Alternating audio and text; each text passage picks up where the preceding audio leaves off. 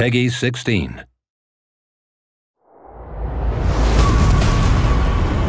This war is lost.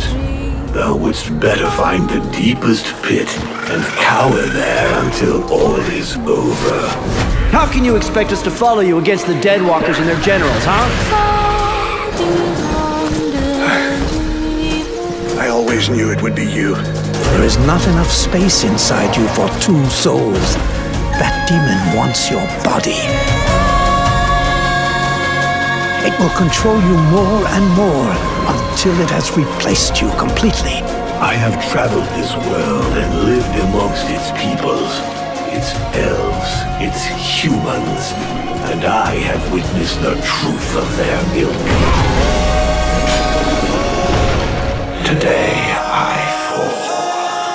dozens of new brothers and sisters will rise from the dead. Listen to me. We have no chance against the Deadwalker army, no matter what powers you have. I am the only one with the power to get us through. Why dost thou resist?